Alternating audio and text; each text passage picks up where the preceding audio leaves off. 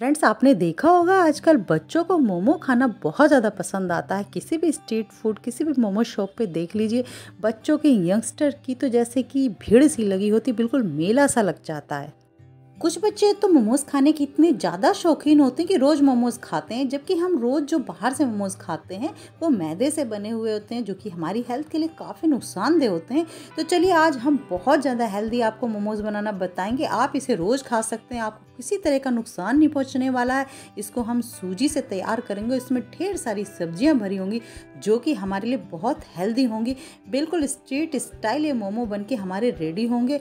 हम चुटकियों में इतने टेस्टी और डिलीशियस मोमोज बना के रेडी कर लेंगे और इसके साथ में एक इंस्टेंट चटनी भी आपको बनाना बताऊँगी।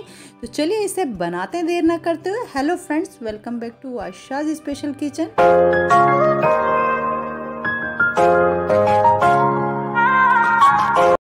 चलिए तो सबसे पहले ले लेते हैं सूजी। तो ये मैंने डेढ़ कप सूजी ले ली है। ये ना तो मोटी सूजी है, ना ही बारीक है। आप कोई भी सूजी ले सकते हैं। मोटी भी होगी तो भी चल जाएगी, बारीक होगी तब भी चल जाएगी। क्योंकि इसका हमें पाउडर बनाना है। तो हम मिक्सर ग्राइंडर के जार में इसको पीसेंगे और इसका फाइन पाउडर रेडी करेंगे। जैसे कि आटा होता है, बिल्कुल उसी तरीके से हमें पीस लेना।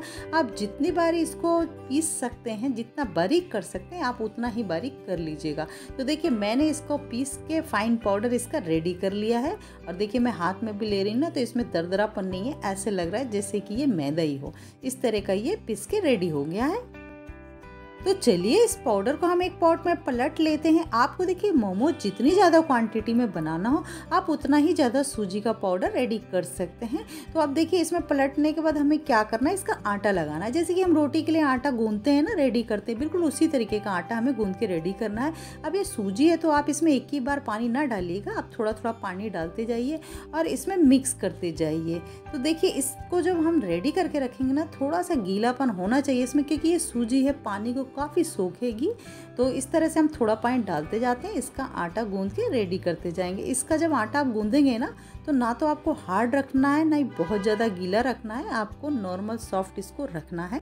अब जैसे कि रोटी के लिए हम आटा लगाते हैं, उतना ही सॉफ्ट आटा इसका हमें लगा के रेडी करना है, क्योंकि जैसा हम सॉफ्ट आटा गूंदेंगे, वैसे ही हमारे मोमोज भी बिल्कुल सॉफ्ट बन के रेडी होंगे। आपके बच्चों का जब भी मोमो खाने का मन हो तो इतने ज़्यादा टेस्टी और हेल्दी मोमो थोड़ी सी मेहनत करके आप घर में ही रेडी कर लीजिए और घर में उन्हें खिलाइए। मैं आपको गारंटी देती हूँ, हंड्रेड वन परसेंट आपके बच्चे बाहर जाके तो मोमो खाना बिल्कुल भूल जाने वाले हैं और आप इसी तरीके से उन्हें हेल्दी मोमो खिला सकते हैं जो कि उन्हें किसी तरह का नुकसान भी नहीं पहुँचाने वाले और उनका मन भी खुश हो जाने वाला है। आटे को कवर करके मैंने 15 मिनट के लिए रेस्ट पे रख दिया। अब दूसरी तरफ़ मैंने गैस की फ्लेम पे एक कढ़ाई को रख लिया है और इसमें मैं ऑयल ऐड कर लेती हूँ। तो मैंने तीन बड़े चम्मच ऑयल डाल दिया है। इसे थोड़ा गर्म हो जाने देती हूँ। इसके बाद मैं कुछ इसमें सब्ज़ियाँ ऐड करूँगी। तो सबसे पहले तो मैं इसमें ऐड करूँगी लहसुन। हरी मिर्च और अदरक। इससे हमारे मोमोज़ का फ्लेवर बहुत अच्छा आता है। लहसुन, अदरक और हरी मिर्च, आप जितनी ज़्यादा क्वांटिटी में चाहे डाल सकते हैं या कम भी डाल सकते हैं। मैंने छः से सात हरी मिर्च के पीसेस कर लिए हैं। दस से ग्यारह लहसुन की कलियाँ हैं और एक इंच अदरक का टुकड़ा है। सबके मैंने बारीक बारीक पीस कर लिए। इनको हल्का सा भूनते हैं। इसके बाद इसमें डालेंगे प्याज। तो मैंने एक बड़े साइज़ का प्याज लिया था। इसके मैंने छोटे छोटे पीस कर लिए। इसको मैं इसमें ऐड कर लेती हूँ।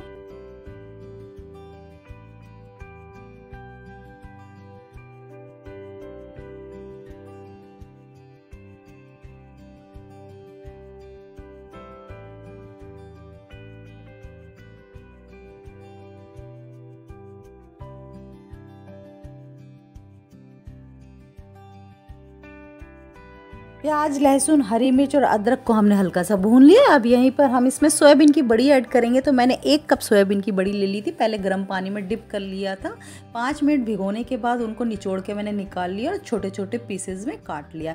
इसको हल्का सा इसमें फ्राई कर लेते हैं। जब ये फ्राई हो जाएँगे ना तो बहुत ही ज़्यादा टेस्टी लगेंगी। और आप सोयाबीन ऐड करना चाहें तो कर सकते हैं। आप ना करना चाहें तो ना करें। आप केवल सब्ज़ियाँ भी डाल सकते हैं। लेकिन सोयाबीन डालने से ना और भी ज़्यादा टेस्टी हो जाता है और भी ज़्यादा हमारे मोमोज हेल्दी बनते हैं। देखिए, अगर आप लहसुन प्याज भी नहीं खाते हैं तो आप लहसुन प्याज को भी इसमें से हटा सकते हैं। उससे कोई फ़र्क नहीं पड़ेगा। टेस्ट हमारे मोमोज़ का बहुत ही अच्छा तब भी आएगा। और देखिए, ये हल्का सा भूनना है, हमें बहुत ज़्यादा नहीं भूनना है। तो देखिए, करीबन इसे भूनते हुए हमें एक से डेढ़ मिनट हो चुका है। अब इसी स्टेज पर मैं इसमें कुछ सब्ज़ियाँ ऐड करूँगी। तो सब्ज़ियाँ आपके चॉइस के ऊपर है, आप कोई भी सब्ज़ी ऐड करना चाहें, करें। लेकिन मोमोज़ में मोस्टली क्या होता है कि हम बंद गोभी आपने देखी होगी कि डालते हैं। तो इसमें मैं बंद गोभी डालूँगी। कई जगह गाजर डालते हैं कई जगह नहीं डालते हैं तो मैंने देखिए ये गाजर ले ली थी तो मैंने दो मीडियम साइज़ की गाजर ली थी, इसके मैंने बहुत बारीक बारीक पीसेस कर लिए, इसको भी मैंने इसमें ऐड कर लिया है। इसमें हम जो भी सब्ज़ी डालेंगे ना, सारी सब्ज़ियाँ बहुत ही हेल्दी हैं।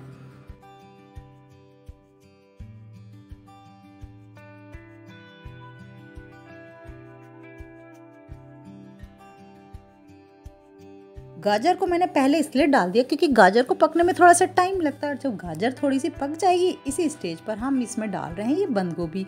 तो मैंने बहुत छोटे साइज़ की एक बंद गोभी ली थी, उसके मैंने बारीक बारीक पीस कर लिए, उसको भी मैंने इसमें ऐड कर लिया है।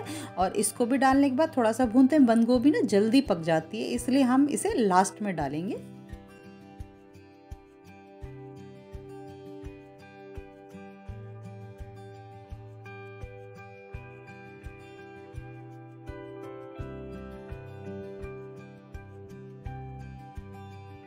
अब देखिए, जो सब्ज़ियाँ हल्की सी भून चुकी हैं, इनमें अभी भी काफ़ी क्रंचीनेस है और इसी स्टेज पर मैं इसमें नमक ऐड कर लेती हूँ।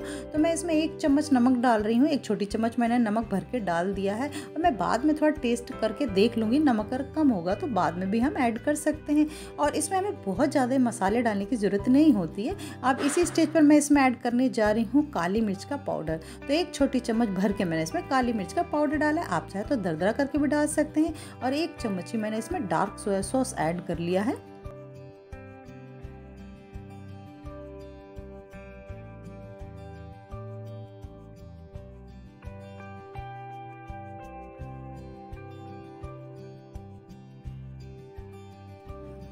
देखिए, सब्जियों का मिक्सचर हमारा रेडी हो चुका है। इसमें खुशबू भी बहुत अच्छी आ रही है। गैस की फ्लेम को कर देते हैं ऑफ़ और इन सब्जियों के मिक्सचर को थोड़ा ठंडा हो जाने देते हैं। तब तक चलिए, मैं आपको एक इंस्टेंट चटनी बनाना बताती हूँ। इसके लिए एक बाउल में मैंने दो चम्मच टमाटो सॉस ले लिया। सबसे पहले तो अब इस टमाटो सॉस में हम एक से डेढ़ चम्मच रेड चिली सॉस डाल लेते हैं। अगर रेड चिली सॉस आपके पास ना हो तो आप शेजवान सॉस भी इसमें ऐड कर सकते हैं। और इसके बाद आप चाहें तो अगर आपके पास स्प्रिंग अनियंस हों, जो हरी प्याज होती है, उसके पत्ते भी इसमें बारीक काट के डाल सकते हैं। फ़िलहाल मेरे पास नहीं है तो मैंने उसे ऐड नहीं करा है। और आधी चम्मच से भी थोड़ा सा कम मैंने इसमें सोया सॉस डाल लिया है। और इसमें मैंने एक छोटी चम्मच चिली फ्लेक्स ऐड कर लिया है। और मैंने अदरक थोड़े से ग्रेट करके रखे थे, उसको भी डाल लिया। आधा इंच से भी थोड़ा सा कम अदरक लिया मैंने और थोड़ा सा मैंने लहसन की ना पाँच छः कलियों को ग्रेट कर लिया है, उसको भी मैंने इसमें ऐड कर लिया है। इसके बाद हल्का सा नमक डाल लेते हैं, बहुत ज़्यादा नमक नहीं डालना है। अब इनको डालने के बाद कर लेते हैं अच्छे से मिक्स। एक बार आप इस चटनी को जब खाएँगे ना तो मज़ा आ जाने वाला है, बहुत टेस्टी ये चटनी बन के रेडी होती है। इस चटनी को आपने एक बार बना लिया तो आप किसी भी चीज़ के साथ खा सकते हैं, ये झटपट से तैयार कर सकते हैं और इसे समोसे, कचौड़ी के साथ भी खा सकते हैं, क्योंकि ये उसके साथ भी बहुत टेस्टी लगने वाली है। चटनी देखने में देख रहे हैं ना, आप कितनी बढ़िया लग रही है। चलिए तो अब आगे की तैयारी करते हैं, मोमोज़ बनाना हम स्टार्ट करते हैं। इसके लिए जो आटा हमने लगा के रखा है, इसको पहले तो चेक कर लेते हैं और ये आटा हमारा बिल्कुल परफेक्ट तैयार है। इसको थोड़ा सा चिकना कर लेते हैं हाथों से मसलते हुए।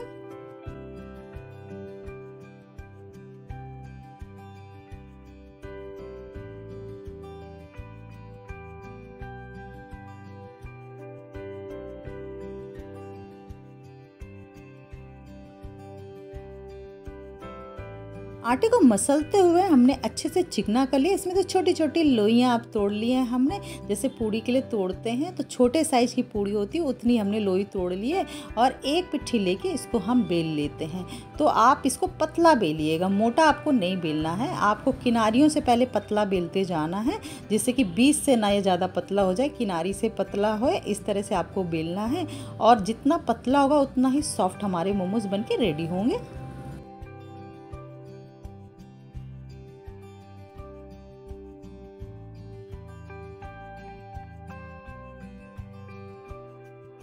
जब आप इसे बेलें और ये चिपक रहा हो थोड़ा बहुत तो आप इसमें थोड़ा सा सूखा आटा लगा लीजिए। अब देखिए, ये मैंने जो है एक जो है पूड़ी बेल ली अब इसमें मैं स्टफिंग डाल लेती हूँ, अच्छे से भर भर के डालेंगे। इतनी डालेंगे कि स्टफिंग हमारी बाहर ना निकले, उतनी ही हमें डालनी है।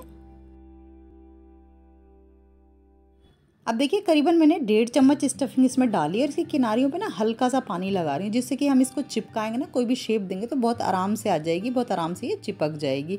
अगर आप ऐसे ही चिपका लेते हैं तो आप ऐसे ही चिपका लीजिए। देखिए, मैं इसकी बहुत आसान सी शेप इस पर बना रही हूँ।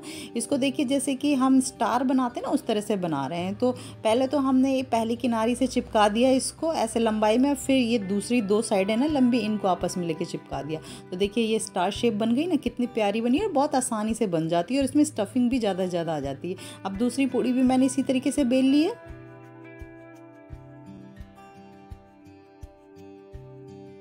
अब दूसरी पूड़ी में मैंने स्टफिंग एक डेढ़ चम्मच डाल दी और इसकी भी देखिए बहुत सिंपल मैं आपको शेप बना के दिखा रही हूँ। इसको फोल्ड कर देना है डाल के। जैसे कि हम गुजिया की शेप देते हैं ना, इसकी किनारियाँ चिपका देते हैं। इसी तरीके से गुजिया वाली शेप में दे रही इसमें मैंने पानी भी नहीं लगा है। ऐसे ही ये बहुत आराम से भी चिपक जा रही हैं। अब देखिए इसको किनारे से चिपका दिए गुजिया जैसी बन गई। अब के दो कोने हैं ना, इन दोनों कोनों को हमें पकड़ लेना है और आपस में चिपका लेना है। मोमोज़ की कई तरह की शेप्स बनती हैं। पहले मैंने वीडियो में कई शेप्स आपको बनानी बताई हुई है। फ़िलहाल मैंने आपको दो शेप्स बताई है, जो कि बहुत आसानी से बन जाती है। आपको जो भी शेप आती है, वही बना सकते हैं। सारे मोमोज़ हमने रेडी कर लिए। अब चलिए, मैंने गैस की फ्लेम पे कढ़ाई में पानी रख लिया है और ये पानी जो है गर्म हो चुका है। इसके ऊपर एक मैंने छन्नी रख ली है और जितने मोमोज़ मेरे आ जाएँगे, मैं उतने मोमोज़ रख देती हूँ और अब हम इन्हें स्टीम देंगे। कम से कम दस से बारह मिनट तक हम इनको कवर करके स्टीम होने के लिए रख देते हैं। मैंने मोमोज़ में तीसरा डिज़ाइन भी बनाया हुआ है, जो कि मैंने पहले वीडियो में आपको बताया हुआ है। ये भी बहुत आसानी से बन जाते देखने में भी बहुत सुंदर लगते हैं। इसलिए ज़्यादातर मैंने यही शेप दी हुई है।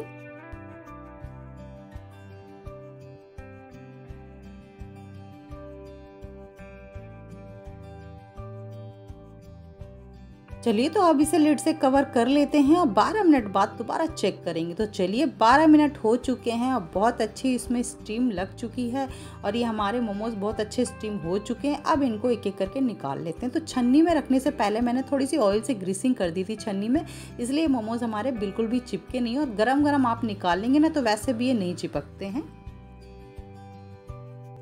आपने आटे और मैदे के तो शायद कई बार मोमोज बनाए होंगे, लेकिन एक बार आप सूजी से बना के ज़रूर देखिएगा। जब आप इस तरह से सूजी को पीस के इस तरह मोमोज बनाते हैं ना तो ऐसे लगता है जैसे हम मैदे के ही मोमोज बना रहे हैं। बिल्कुल भी फ़र्क नहीं लगता है, वही स्वाद आता है, वैसे ही लगते हैं ये स्वाद में, जबकि ये सूजी होती है। मैंने अपने बच्चों को जब इस तरह से बना के खिलाया तो उनको यकीन ही नहीं हुआ कि इसे मैंने सूजी से रेडी करा है। और बच्चों ने मेरी ज़िद भी करी कि जब भी आप बनाना ना, सूजी के इसी तरीके के मोमोज़ बनाना, क्योंकि बच्चों को बहुत पसंद आए मोमोज़ देखा आपने कितनी आसानी से ये हेल्दी मोमोज हमने बना के रेडी कर लिए जब भी आपकी फैमिली मोमो बनाने कहे तो आपको ये नहीं कहना पड़ेगा कि बहुत अनहेल्दी होते हैं। आप इस तरह से हेल्दी वर्जन के मोमोज बना के खिलाइए। सभी को मज़ा आ जाने वाला है, सभी खुश हो जाएँगे इस तरह के मोमोज खा के। और चटनी भी ज़रूर बनाइएगा इंस्टेंट ज़रूर है ये चटनी, लेकिन बहुत ज़्यादा डिलीशियस बन के रेडी होती है।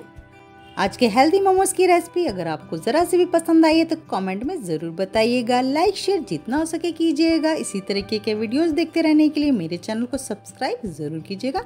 चलिए मिलते हैं नेक्स्ट वीडियो में। तब तक के लिए नमस्कार।